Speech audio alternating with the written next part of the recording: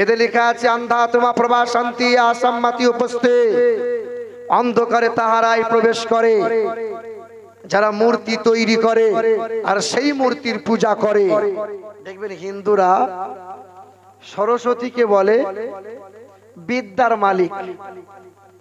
আর লক্ষ্মীকে বলে লক্ষ্মী হলো রুজির মালিক।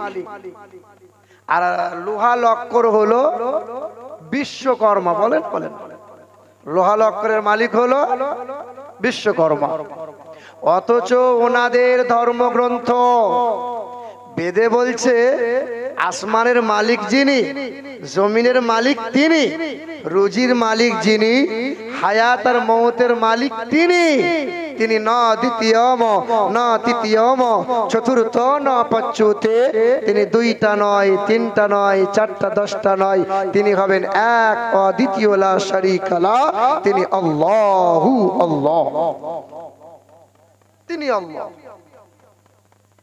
আল্লাহকে দেখেছেন আপনারা? আল্লাহকে দেখেননি?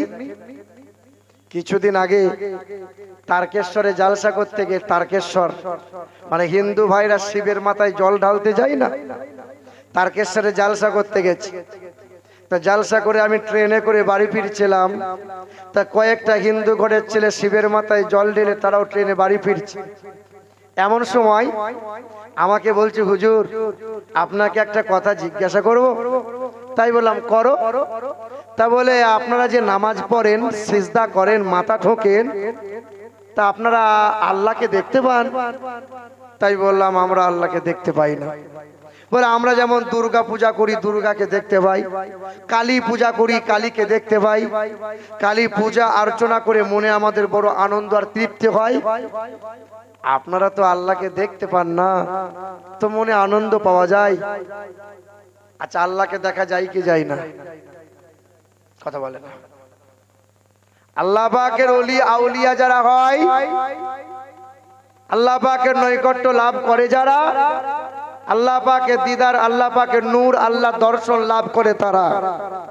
তবে আল্লাজি নাবিল গাইব ওয়ায়ুকিমুনা সালাত।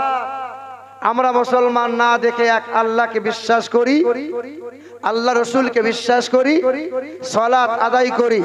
কোরআন বলছে ওই ব্যক্তিটাই তো প্রকৃত ইমানদার। আমি বললাম, শোনো, কিছুদিন পরে তোমাদের দুর্গা পুজো হবে। বলে হ্যাঁ তা তো হবে।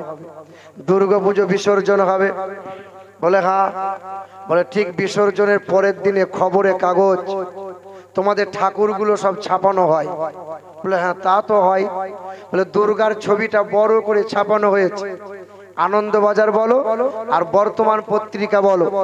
এই খবরে কাগজ, শিক্ষিত মানুষ যারা, তারা পড়ে। বলে হ্যাঁ তা তো পড়ে।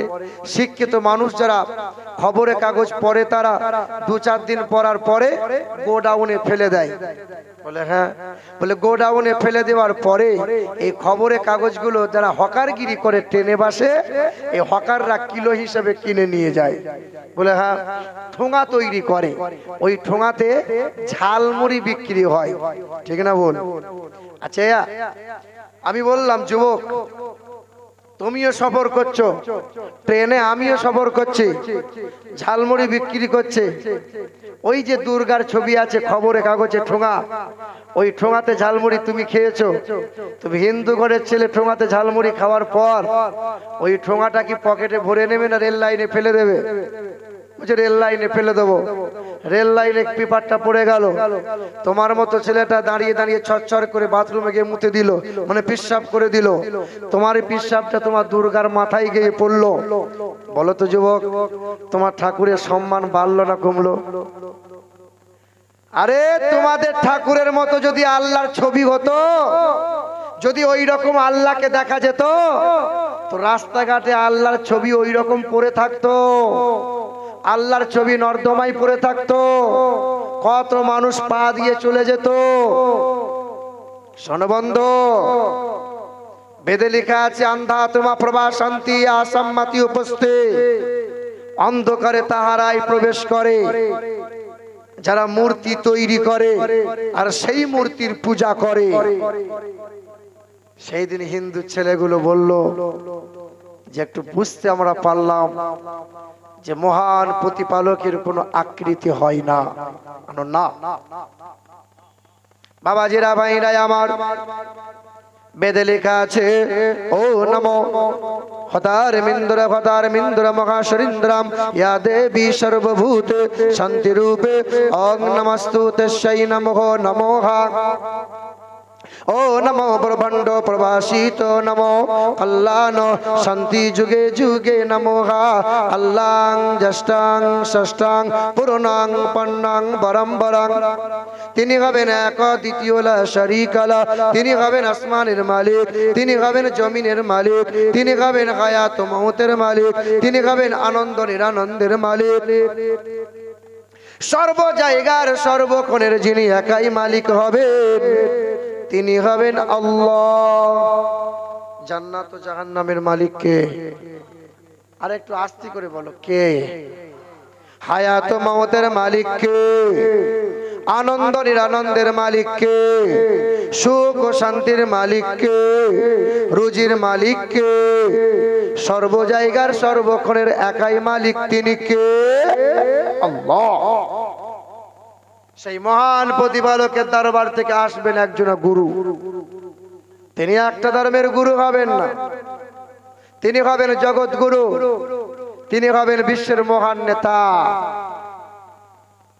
বাবাজিরা ভাইরা আমার বেদে লেখা আছে অত তেসাং ভবিষ্যতে মানাংশে বেশদানিব বাসুতে বাঙ্গারাঙ্গীতি পণ্যকান্দা নীলস্পর্শম যার চেহারা দিয়ে সুগন্ধি বার হবে, ওই সুগন্ধির শহর হবে, দেশের মানুষের মন পবিত্র হবে।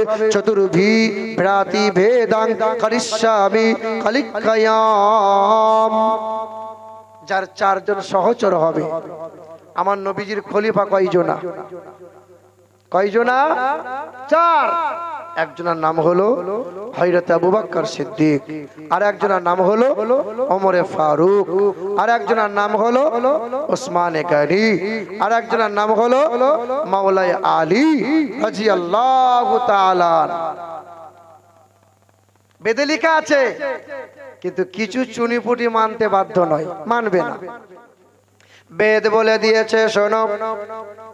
পৃথিবীর জমিনে সর্বশ্রেষ্ঠ ব্যক্তি হলেন নবী মোহাম্মদ সাল্লাল্লাহু আলাইহি ওয়াসাল্লাম। আর পৃথিবীর জমিনে সর্বশ্রেষ্ঠ কিতাব হলো আল কোরআন সাং ভবিষ্যতে মানাংশে বেশদা নিব বাসু দেবাঙ্গারাঙ্গীতি পণ্য গন্ধা নীলস্পর্শম ঈশ্ব সর্বস্ব জাগতাং, ব্রহ্ম সর্বদাং খালিদাং, ধর্মবাহং। ও নমো হতার মিন্দ্র হতার মহাশরীন্দ্রাম ইয়া দেবী সর্বভূত, শান্তি রূপে। ওং নমস্তু তস্যৈ নমঃ, নমো হা, ও নমো ব্রহ্মাণ্ড প্রবাসিত নমো। কল্যাণ শান্তি যুগে যুগে নমো হা, সর্বদা তো কল্যাণ। বসুমতি গৌরী ঋষি, মৃত্যু যারা, মৃত্যু আগমনি নমো হা। মুসলমানের ছেলেরা এ নওজোয়ান যুবকেরা, কত শত মুসলমানের ছানা আমার নবীকে মানে না, নবীর আদর্শ ফলো করে না। হিন্দুদের কথা আর কি বলব? কিছুদিন বেশি দিনকার কথা নয়। আজকে হয়ে গেল দু হাজার তেইশ সালের আপনার অক্টোবর মাসের দশ তারিখের ঘটনা। একটা হিন্দু ঘরের ছেলে আমার নবীকে গাল গালমন্দ করে দিল। আমার নবীকে খারাপ খারাপ ভাষায় গাল গালমন্দ করল। বেশি দূরকার কথা নয়, আমাদের পশ্চিম বাংলার কথা। বাগনা নেতার বাড়ি, হাওড়া জেলা বাগনান। আমার দয়ার নবী সাল্লাল্লাহু আলাইহি ওয়াসাল্লামের শানে বেয়াদবি নামক কথা বলে দিল। তারপরেও ছেলের পরিচয়টা নাকি ভুল। মানে প্রশাসনের দিক দিয়ে তার পরিচয়টা গোপন করে দিল। সত্য জানতে দিল না, কারণ সত্য যদি জেনে যায়, ঘর, দুয়ার বাড়ি ঘর সব উড়িয়ে দেবে। বাবাজি না ভাইরাই আমার আমার রসুল্লাহর সানে বেয়াদবি করল, আমার নবীকে গালমন্দ করেছিল, আমার নবীজির সানে গুস্তাকি করল। এ মুসলমানের ছেলেরা, আজকে হিন্দুদের কথা আর কি বলব? কত শত মুসলমান, কত শত আলেম মৌলানা স্টেজে বসে বসে নবীর সানে বিয়াদবি করে। এক বক্তা বক্তব্য রাখছে। যে আল্লাহ আল্লাহ করো, নবী নবী করে লাভ নাই। নবীর দরুদ পড়ে লাভ নাই। অথচ আমি আমিরুল ইসলাম বলে দিয়ে যাই, যে ব্যক্তি নবীজির মহাব্বতে দরুদ পড়ে, যে দরুদ শরীফের আমল করে, সেই ব্যক্তির কোনোদিন রাস্তাঘাটে আপদ বিপদ আসবে না। যে ব্যক্তি দরুদ শরীফের আমল করে রাস্তাঘাটে কোনোদিন অ্যাক্সিডেন্ট হয়ে ব্যক্তিটা মারা যাবে না। যে ব্যক্তি দরুদ শরীফের আমল করে, তার বাড়িতে সংসারে অভাব কোনোদিন আসবে না। যে ব্যক্তি দরুদ শরীফের আমল করে, তার ঘরে কোনোদিন ঋণ তাকে করতে হবে না, ঋণ পড়তে হবে না। যে ব্যক্তি দরুদ শরীফের আমল করে, আগুনে সে কখনো পুড়ে মরবে না। যে ব্যক্তি দরুদ শরীফের আমল করে, সে কখনো পানিতে ডুবে মরবে না। যে ব্যক্তি দরুদ শরীফের আমল করে আল্লাহ নবী তার জন্য সুপারিশ করবে। একবার দরুদ পড়লে পরে আল্লাহ দশটা নেকি দান করে দেয়। শরীফের আমল করলে সংসারে অভাব আসবে না। আল্লাহ রুজি, রোজগারে, বরকতে আল্লাহ মালামাল করে দেয়। আর বক্তা বসে বসে ওয়াজ করছে। ও বলছে আমি তবলিগি, আর ও বলছে আমি আহলে হাদিস, আর ও বলছে আমি অমুক, আমি মাঝহাব মানি না, আমি অলি মানি না, আমি পীর মানি না, আমি কিয়াম মানি না, আমি দরুদ মানি না, কি মানো হে? বলছে, আল্লাহ ছাড়া কাউকে মানি না। বলছে, আমরা ওসিলা মানি না। দেখবেন আমাদেরকে ওপরে উঠতে গেলে মই দিয়ে উঠতে হয়। কিন্তু যে হনুমান হয়, তাকে মই লাগে না। তাকে অশিলা লাগে না, সে লাফিয়ে চলে যায়। ও হনুমানের বাচ্চা, হনুমান, ওরা ওদের অশিলা লাগে না। ওরা খাজা মানে না, পীর মানে না। যার কারণে ইসলাম পেলে যার কারণে কালেমা পেলে যাদের কারণে, যার কারণে নামাজ পেলে টুপি পেলে মৌলানা হলে, হাফেজ হলে ইসলামের যিনি কালেমার বাতি জ্বালিয়ে মুসলমানদের কলিজা ঠান্ডা করে দিলেন, খাজা গরিবে নওয়াজ হিন্দেল অলি, খাজা মঈনুদ্দিন হাসান সঞ্জারে। বলে, তাকেই তো মানি না আমরা। তুমি মুসলমান? বাবাজিরা, ভাইরাই আমার। মুসলমানের ছেলেরা নৌজওয়ান যুবকেরা। এ আমার বাবাজিরা, ভাইরাই আমার। কথায় কথা বেড়ে যায়, বারবার একটা কথা বলতে মন হয়। শুনে রেখে দেন, ওই হিন্দু ঘরের ছেলেটা বাগনানে পরিচয় দিয়ে পাওয়া গেল। ওই ছেলেটা নবীর সানে বিয়াদবি করল। বেশি দিন যেতে হয় নাই, কাউকে আঘাত করতে হয় নাই। ছেলেটা হাত পা অটোমেটিক প্যারালাইসিস হয়ে হাসপাতালে পড়ে গেল। বেশি দিন গেল না, অল্প দিনেই মারা গেল। মানে আল্লাহর মার বড় মার। আল্লাহর মার বড় মার, কাউকে মারতে হবে না। আবাবিল, ঝাঁক ঝাঁক পাখি। ওই আল্লাহ পাকের কাবা ঘরটা ধ্বংস করতে গিয়েছিল জালিম আব্রাহা বাদশাহ। কাছাকাছি হয়ে গেল হস্ত সৈন্য সিপাহী নিয়ে কাবা ঘর ধ্বংস করে দেবে। সেই দিন আব্দুল মুত্তাল্লিব বলেছিল, আল্লাহ, তোমার ঘর তুমি রক্ষা করো মালিক। আল্লাহ পাক মানুষের সাহায্য নেন নাই। আল্লাহ পাক কোনো ফেরেস্তার সহযোগিতা নয়। সেদিন আল্লাহ পাক ঝাঁক ঝাঁক পাখিদেরকে হুকুম করলেন, আসমানের ঝাঁক ঝাঁক পাখিরে ছোট ছোট কাকর মুখে তুলে নিয়েছিলেন। ওই কাকরগুলো তখন তারা নিক্ষেপ করল। আল্লাহ পাকের হুকুমে দুই গ্রাম কাকর, পাঁচ গ্রামের কাকরটা পাঁচ কুইন্টাল আমার আল্লাহ বানিয়ে দিলেন। কাকর পড়তে দেরি জালিমগুলো কাকরের আঘাতে, ওই পাথরের আঘাতে একে একে ধ্বংস হয়ে জাহান নামে চলে গেল। কাকর দিয়ে নিক্ষেপ কাকর নিক্ষেপ করে বেঈমানকে ধ্বংস করেছেন আমার আল্লাহ। আজকে যারা নবীর সানে বিয়াদবি করে, আজকে যারা কোরআনের সানে বিয়াদবি করে, আজকে মসজিদ মাদ্রাসার সানে যারা বিয়াদবি করে যাচ্ছে শুনে রেখে দাও। সোশ্যাল মিডিয়ার মাধ্যমে বলে দিয়ে যায় আল্লাহ ছাড় দেয়, কিন্তু আল্লাহ ছেড়ে দেয় না।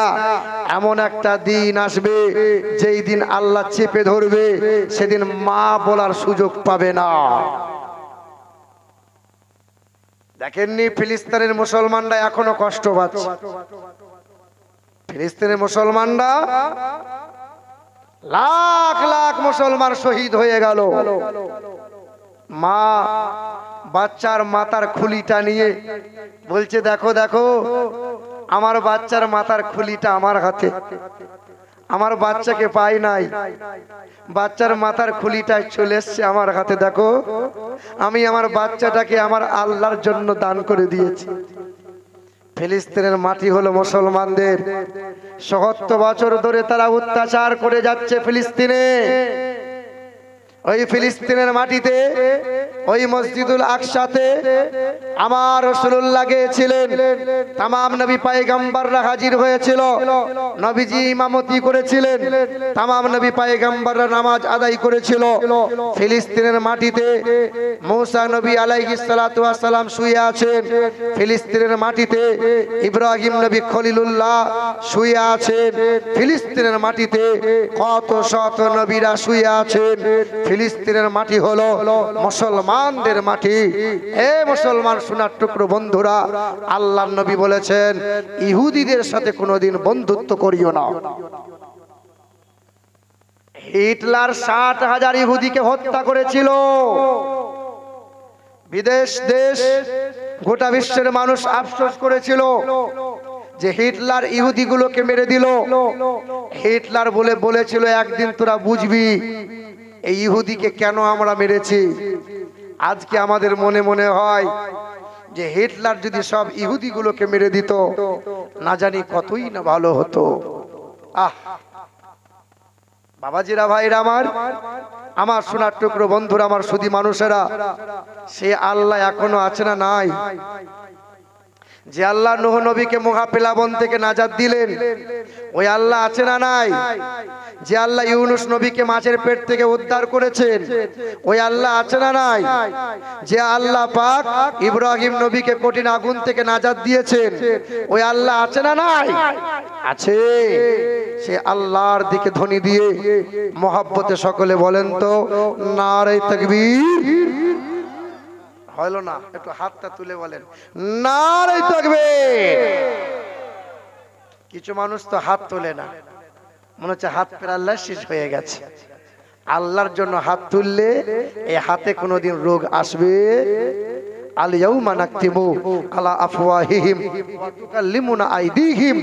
হাসরের ময়দানে তোমার মুখটা বন্ধ করে দেয়া হবে। হাত কথা বলবে হাত।